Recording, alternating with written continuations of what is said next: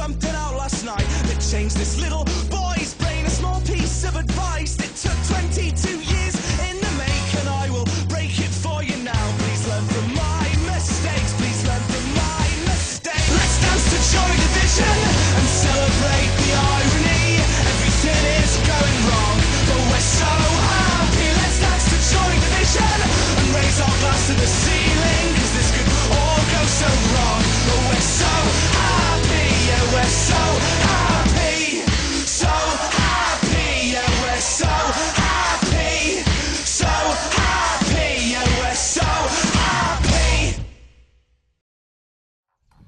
Thank you.